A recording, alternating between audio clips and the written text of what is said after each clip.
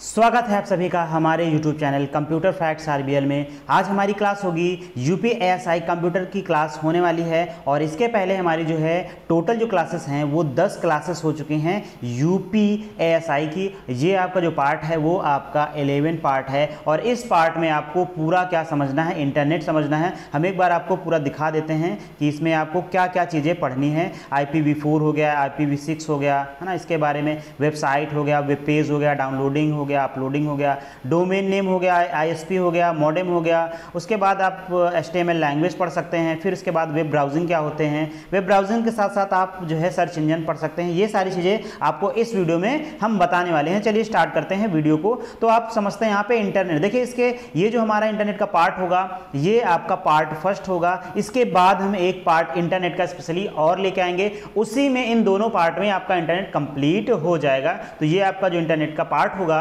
वो आपका फ़र्स्ट होगा। लेकिन ये पूरी वीडियो का जो ऑल ओवर होगा, वो आपका 11 पार्ट होगा। चलिए स्टार्ट करते हैं। इंटरनेट सभी लोगों ने नाम सुना होगा। इंटरनेट तो सबसे पहले जान लेते हैं इंटरनेट का पूरा नाम क्या होता है? तो इसका पूरा नाम क्या होता है? इंटरनेशनल नेटवर्क होता है। क्या होता है? इंटरनेशनल नेटवर्क यह एक ऐसा नेटवर्क होता है, जो पूरे विश्व में फैला हुआ होता है। यह क्या होता है? कई सारे छोटे छोटे नेटवर्कों का एक नेटवर्क होता है या फिर एक जाल होता है। आगे देखते हैं इंटरनेट एक नेटवर्कों का जाल होता है। क्या होता है? इंटरनेट एक नेटवर्कों का जाल होता है। जैसे आपका क्या होता है? वेब होता है। जैसे क्या होता है आपका? वेब मतलब मकड़ी का जो जाला होता है। उसी तरीके से आपका इंटरनेट पूरे विश्व में क्या है? फैला हुआ है। अगर हम बात करते हैं इंटरनेट के पूरे नाम की तो इंटरनेट का पूरा नाम आपको पता ही है कि इंटरनेशनल इसका क्या होता है? पूरा नाम होता है। अब यहाँ पे देखते हैं। यह आपस में एक दूसरे से जुड़े कंप्यूटर नेटवर्क्स की एक ग्लोबल क्या होती है? संरचना होती है। एक भौगोलिक क्या होती है? संरचना होती है। जो पूरे ब्रह्मांड में, जो पूरे विश्व की बात करें तो पूरे विश्व में ये फैला हुआ है। अगर हम बात करते हैं, इंटरनेट का जो, इंटरनेट की जो खोज है, वो किसने की थी? तो विंट सर्फ ने की थी। किसने की थी? विंट सर्फ ने की थी। और इंटरनेट की जो शुरुआत है, वो 1969 में हुई थी। उन्नीस ईस्वी में इंटरनेट की शुरुआत हुई थी। कब हुई थी? उन्नीस ईस्वी में इंटरनेट की शुरुआत हुई थी। अब बात करते हैं, ये इंपॉर्टेंट आपका जो है क्वेश्चन बहुत इंपॉर्टेंट है। कह रहा है क्वेश्चन में, पहला नेटवर्क भाई, पहला नेटवर्क क्या है? तो इसका नाम है अरपा नेट क्या नाम है? अरपा नेट इस तरीके से आप लिख सकते हो हिंदी में अरपा नेट ये आपका पहला क्या था? पहला नेटवर्क था। पहला क्या था? नेटवर्क था। और ये आप देखिएगा कि आपके एग्ज़ाम में यही क्वेश्चन जो है छप जाएगा। Advance research projects administration network, इसका क्या होता है? फुल फॉर्म होता है। एक बार आप इसको ज़रूर याद कर लीजिएगा। ये अरपा नेट क्या है? तो अरपा नेट पहला नेटवर्क है। अगर हम कहेंगे अरपा नेट की शुरुआत कब हुई? तो भाई जब इंटरनेट की शुरुआत हुई तो आपका क्या था? सन कौन सा था? 1969 थी। तो यहाँ पे भी आपका क्या हो जाएगा? 1969 हो जाएगी। 1969 में अरपानेट की शुरुआत हुई थी। अगर बात करते हैं अरपानेट की शुरुआत कहाँ से हुई थी तो आपको बताना है अमेरिका में हुई थी। इंटरनेट की जो शुरुआत है, यानी कि अर्पानेट की जो है शुरुआत है, वो कहाँ पर हुई थी? तो अर्पानेट की शुरुआत अमेरिका में हुई थी। और किस पर्पज़ के लिए इसको बनाया गया था? तो मिलिट्री लैब में इसको क्या किया गया था? बनाया गया था। अगर हम बात करते हैं कि सबसे पहले कौन सी एक ऐसी पार्टी है, जिसने जो है इंटरनेट पर सबसे पहले अपनी वेबसाइट बनाई थी तो आपकी बीजेपी जो होगी, वो आपकी सबसे पहले इंटरनेट पर जो है वेबसाइट बनाने वाली एक पहली पार्टी थी, जिसको हम क्या बोलते हैं, भारतीय जनता पार्टी बोलते हैं। अगला है कि भारत में जो इंटरनेट की शुरुआत है, वो कब हुई थी? तो भारत में इंटरनेट की शुरुआत 15 अगस्त उन्नीस सौ पंचानबे में हुई थी। कब हुई थी? 15 अगस्त उन्नीस सौ पंचानबे में भारत में इंटरनेट की शुरुआत हो गई थी। अगर बात करते हैं कि किस कंपनी द्वारा इंटरनेट की शुरुआत की गई थी तो आप समझ सकते हैं बीएसएनएल जिसको हम बोलते हैं विदेश संचार निगम लिमिटेड। उसके बाद आपका क्या बना था? बीएसएनएल बना था। बीएसएनएल को हम क्या क्या बोलते हैं? भारतीय संचार निगम लिमिटेड। अब बात करते हैं कि आपका जो आईटी एक्ट है, यानी कि आईटी अधिनियम है, वो कब पारित हुआ था? तो ये क्वेश्चंस आप छाप लीजिए, ये आपका इंपॉर्टेंट है। और अभी आपको साइबर क्राइम में हम जो भी एक्ट्स हैं, उनके बारे में सारी वीडियोस ले, लेके आने वाले हैं। साइबर जो क्राइम है, उससे आपका एसआई और एसआई में क्वेश्चंस तीन से चार क्वेश्चंस तो फिक्स हैं। एक ही वीडियो में हम आपको इतना पढ़ा देंगे कि आपके तीन से चार क्वेश्चन बिल्कुल फिक्स होने वाले हैं। तो ये आपका जो एक्ट था, ये आपका सत्रह जून दो हज़ार को पारित हुआ। सॉरी 2000 को पारित हुआ था ये क्वेश्चंस आपके अभी जो है, मृतक आश्रित में भी क्वेश्चंस पूछा गया था और इसके पहले आपका जेल वार्डन में क्वेश्चंस पूछा गया था। ये जो क्वेश्चंस है, ये बार बार रिपीट होने वाला क्वेश्चंस है। आपको याद कर लेना है कि 17 जून 2000 को क्या हुआ था। तो आई इसका मतलब है आईटी का मतलब है, क्या होता है? आईटी इंफॉर्मेशन टेक्नोलॉजी क्या होता है? इंफॉर्मेशन टेक्नोलॉजी मतलब सूचना प्रौद्योगिकी। आगे बात करते हैं तो इंटरनेट प्रोटोकॉल क्या होता है? तो देखिए, इंटरनेट प्रोटोकॉल क्या होता है? इंटरनेट प्रोटोकॉल नेटवर्क के बीच में, क्या करता है? ये नेटवर्क के बीच में पैकेट भेजता है। क्या करता है? नेटवर्क के बीच में क्या करता है? पैकेट को भेजता है। अगर हम बात करते हैं आईपी एड्रेस भाई आईपी एड्रेस का होता है। इसका फुल फॉर्म पहले समझते हैं। तो आईपी का मतलब होता है इंटरनेट प्रोटोकॉल क्या होता है? इंटरनेट प्रोटोकॉल ये क्या होता है? तो आप जो भी इंटरनेट से जितनी भी डिवाइस आप क्या करते हो कनेक्ट करते हो इंटरनेट से तो सबका क्या होता है? एक ना एक एड्रेस होता है।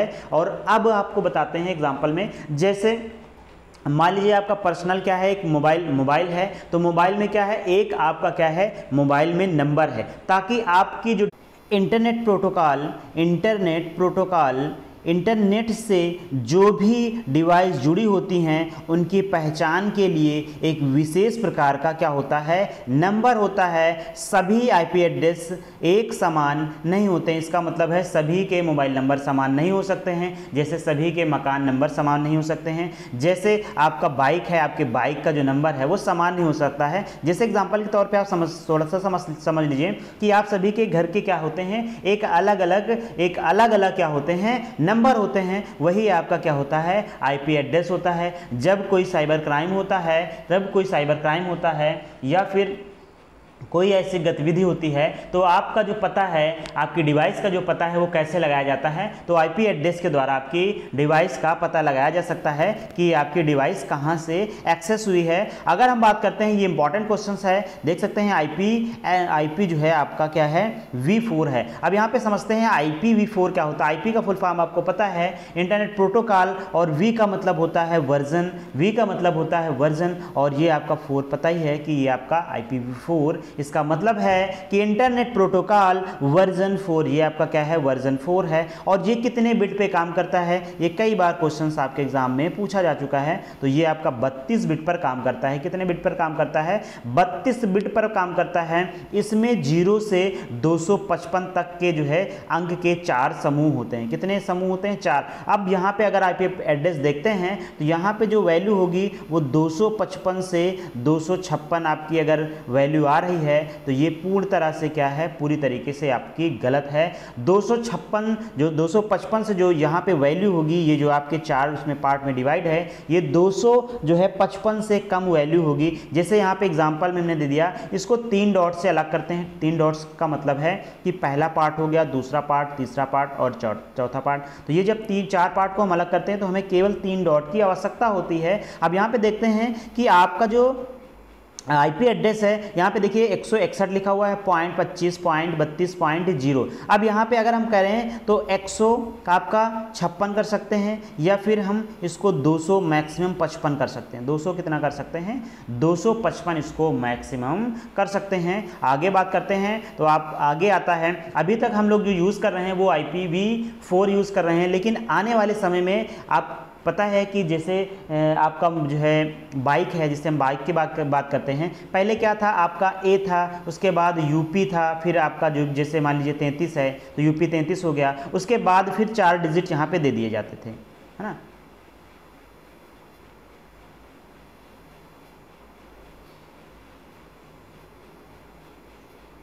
हाँ यहाँ पे चार डिजिट एक मिनट। हाँ यहाँ पे चार डिजिट दे दिया जाता है, जैसे मान लीजिए बत्तीस और सैंतीस दे दिया गया। तो वहाँ पे क्या होता था? यूपी उसके बाद ए हो जाता था ना? यूपी तैंतीस हो गया, मान लीजिए ए हो गया, बत्तीस पैंतीस हो गया। लेकिन संख्या बढ़ने के कारण यहाँ से क्या हो रहा देखिए, यहाँ पे यूपी के साथ साथ आपका क्या बढ़ रहा है यहाँ पे? ए के साथ कभी बी हो जा रहा कभी सी हो जा रहा। तो ये क्या हो रहा है कि हमारी जो बाइक है उनकी संख्या क्या हो रही बढ़ रही है। तो यहाँ पे हमें संख्याओं में भी बढ़ोतरी कर, करनी पड़ रही है। कुछ ना कुछ हमें चेंज करना पड़ रहा है। यहाँ पे आप देखेंगे तो इसमें क्या किया गया था? इसमें किया गया कि आपका ये जो इंटरनेट प्रोटोकॉल होता है ये वर्जन आपका सिक्स होता है। इसका मतलब है इसके बाद ये वर्जन यूज़ होगा आई पी के बाद में। अगर हम बात करते हैं कितने बिट पे काम करता है? तो ये 128 बिट पे काम करता है। देखिए इससे कई गुना काम तेज करेगा और कई गुना ज़्यादा डेटा को रखेगा, कई सारी डिवाइसों को एक साथ जोड़ने का कार्य करेगा। अगर बात करते हैं यह किस पे काम करता है, ये जो है फोर हेक्साडेसिमल अंकों का जो है आठ जो है, आठ समूह होता है। मतलब आठ उसका कैरेक्टर आठ अंकों का समूह होता है। देखिए ये कितने का होता है, आप यहाँ पे देख सकते हैं। तो यहाँ पे आपके तीन तीन छः फिर तीन, नौ और तीन, आपके बारह हो जाएँगे। यहाँ पे कितने हो जाएँगे? बारह हो जाएँगे। लेकिन यहाँ पे हेक्सा वर्जन में आप देखेंगे, क्योंकि ये कितने उस पर काम करता है तो ये 128 पे करता है और चार डिजिट होंगे। यहाँ पे आपके तीन होते थे, यहाँ पे आपके ये तैसे करके चार हो जाएँगे। इसका मतलब ये एक हो जाएगा, फिर डॉट लगेगा, फिर दूसरा। इसका मतलब आप समझ सकते हैं कितनी बड़ी आपकी ये आईपी एड्रेस की आईडी हो सकती है। आगे बात करते हैं डब्ल्यू बहुत इंपॉर्टेंट है। इसका फुल फॉर्म क्या होता है? वर्ल्ड वाइड वेब होता है। क्या होता है? वर्ल्ड वाइड वेब होता है। इसकी खोज किसने की थी? तो टिम बर्नल ली ने की थी। किसने की थी? टिम बर्नल ली ने की थी। अगर बात करते हैं वेबसाइट्स क्या हैं तो वेबसाइट्स क्या होती हैं? वेब पेजों का कलेक्शन होते हैं। क्या होती हैं? वेब पेजों का कलेक्शन होते हैं। मतलब आप समझ सकते हैं कि वेबसाइट्स कैसे बनेगी। तो वेबसाइट्स में अगर आपने एच पढ़ा होगा तो आपको वेबसाइट डेवलप करने के बारे में थोड़ा सा भी नॉलेज होगा। तो हम, चलिए हम स्टार्ट करते हैं, फिर से आपको बताने को से देखिए वेबसाइट क्या होती हैं? तो ये क्या होती है? कई सारे पेजों का कलेक्शन होती हैं, कई सारे वेब पेजों का कलेक्शन होती हैं। अब बात करते हैं वेब पेज क्या होते हैं? तो वेब पेज इंटरनेट के जो भी पेजेस होते हैं, उनको हम क्या बोलते हैं? तो उनको हम वेब पेजेस बोलते हैं। अगर बात करते हैं वेबसाइट्स किसका कलेक्शन होता है तो वेबसाइट में आपको किसी भी वेबसाइट वेबसाइट में आपको टेक्स्ट मिल सकता है ऑडियो मिल सकता है, वीडियो मिल सकता है, एनिमेशन मिल सकता है, इमेज मिल सकता है, ग्राफिक्स मिल सकता है। इन सबसे मिलकर क्या बन जाती है? आपकी एक संपूर्ण वेबसाइट बन जाती है। अगर हम बात करें कि वेब पेजेस तो आपको पता हो गया कि वेब पेजेस क्या होते हैं? वेब पेजेस का मतलब है कि जो भी आपके इंटरनेट के पेज होते हैं, उन्हें वेब पेजेस बोलते हैं। अब यहाँ पे देख, देखते हैं वेब पेजेस क्या होते हैं। तो वेब पेजेस क्या होते हैं? एच द्वारा एच द्वारा जो भी डॉक्यूमेंट्स लिखे जाते हैं, वो सब वेब पेजेस पे लिखे जाते हैं। या फिर एच पर हम जो भी चीज़ें लिखते हैं, वो सीधे हमारी वेब पेज पे कन्वर्ट हो जाती हैं। एच का फुल फॉर्म क्या होता है? तो हाइपर टेक्स्ट मार्कअप लैंग्वेज होता है। क्या होता है? हाइपर टेक्स्ट मार्कअप लैंग्वेज होता है। यह क्या है? एक प्रकार से वेब प्रोग्रामिंग लैंग्वेज है। एच क्या है? एक प्रकार से वेब प्रोग्रामिंग लैंग्वेज है। आगे बात करते हैं कि इसको ट्रांसलेट कौन करता है? तो आपको जो जो आपको एच होता है, उसको ट्रांसलेट करने के लिए, यानी कि वेब पेज को ट्रांसलेट करने के लिए हमें वेब ब्राउज़र का प्रयोग करना होता है। किसका प्रयोग करना होता है? वेब ब्राउज़र का प्रयोग करना होता है। आगे बात करते हैं डाउनलोडिंग सभी लोगों को पता ही होगा। एक लाइन में हम आपको बता देते हैं डाउनलोडिंग क्या होता है? तो डाउनलोडिंग जब कोई फ़ाइल जो है सर्वर से क्लाइंट पर भेजी जाती है तो उसे हम क्या बोलते हैं? डाउनलोडिंग कहते हैं। थोड़ा सा हम एक फिगर बना के आपको समझा देते हैं। ये मान लीजिए आपके क्या हैं? क्लाइंट हैं, ये क्या है? क्लाइंट क्लाइंट का मतलब होता है कि जैसे हम लोग जो कंप्यूटर्स यूज़ करते हैं, वो क्लाइंट होते हैं। सर्वर आपका मेन कंप्यूटर होता है, ये सर्वर अगर कोई चीज़ सर्वर से आपके कंप्यूटर में पहुँच रही है, अगर आपका कोई भी फ़ाइल अगर सर्वर ये सर्वर आप समझ लीजिए, और ये क्लाइंट समझ लीजिए क्लाइंट है client one client two client three अगर यहाँ से फ़ाइल आपकी यहाँ पे आ रही है। देखिए, यहाँ से फ़ाइल यहाँ पे आ रही है। इसका मतलब है कि वो फ़ाइल सर्वर से नीचे आ रही है। तो इसका मतलब वो डाउन होगा। इसलिए इसको हम क्या बोलते हैं? डाउनलोडिंग बोलते हैं। अगर अपलोडिंग की बात करेंगे तो जब कोई फ़ाइल आप क्लाइंट से सर्वर तक भेजते हैं तो उसे हम क्या बोलते हैं? तो उसे अपलोडिंग कहते हैं। अपलोडिंग का मतलब आप समझ सकते हैं कि हमारे जो कंप्यूटर हैं, वो नीचे हैं और सर्वर आपसे क्या है? ऊपर है। तो ऊपर भेजने के लिए हमें क्या करना होगा? अपलोडिंग और नीचे लाने के लिए हमें क्या करना होगा? डाउनलोडिंग करना होगा। चलिए स्टार्ट करते हैं आगे। तो आगे आपको डाउनलोडिंग और अपलोडिंग समझ में आ गई होगी बात। देखिए, जब कोई क्लाइंट जब कोई फ़ाइल क्लाइंट से सर्वर पर भेजी जाती है तो उसे हम क्या बोलते हैं? और इन दोनों के बीच में आपका एफटीपी वर्क करता है। क्या ये वर्क करता है? एफटीपी मतलब फ़ाइल ट्रांसफ़र प्रोटोकॉल इसको क्या बोलते हैं? तो इसको हम फ़ाइल ट्रांसफ़र प्रोटोकॉल बोलते हैं। मतलब क्या होता है फ़ाइल ट्रांसफ़र प्रोटोकॉल का? तो इसका यूज़ क्या होता है? किसी भी फ़ाइल को क्या करना? ट्रांसफ़र करना डाउनलोडिंग करते समय या फिर अपलोडिंग करते समय इसका वर्क होता है। आगे बात करते हैं कि डोमेन नेम क्या होता है? डोमेन नेम से एक क्वेश्चन आपका पूछा जाता है कि डोमेन नेम क्या होता है? देखिए डोमेन नेम से क्या होता है कि बहुत सारे जैसे आईपी एड्रेस हो गया तो, तो उसे हमें याद करने में क्या होती है? कठिनाई होती है। तो उसे हम क्या करते हैं कि एक जो है इसको हम शब्दों में विभाजित कर देते हैं। जैसे आपका एक शब्द हो गया डॉट कॉम जैसे आपने बहुत सुना होगा डॉट कॉम अगर डॉट कॉम लगा हुआ है तो आपको समझना है वो वेबसाइट कौन सी है? कॉमर्शियल है व्यवसायिक रूप की वेबसाइट है। अगर ई लिखा हुआ है तो इसका मतलब एजुकेशन है। अगर डॉट लिखा हुआ है तो गवर्नमेंट की वेबसाइट है। अगर MIL लिखा हुआ है तो मिलिट्री के है डॉट नेट लिखा हुआ है तो आपका नेटवर्किंग के लिए है। अगर डॉट ओ लिखा तो ऑर्गेनाइजेशन के लिए, संगठन के लिए है। अगर हम बात करते हैं सीओ के लिए है तो सीओ किसके लिए है? कंपनी के लिए है। अगर डॉट इन आप डोमेन खरीदते हैं, लेते हैं तो वो किसके लिए है? इंडिया के लिए है। तो आपको ये डोमेन नेम ज़रूर एक बार देख लेने हैं। ये आपके डोमेन नेम है इंपॉर्टेंट जो भी डोमेन नेम थे, हमने आपको पूरा बता दिया।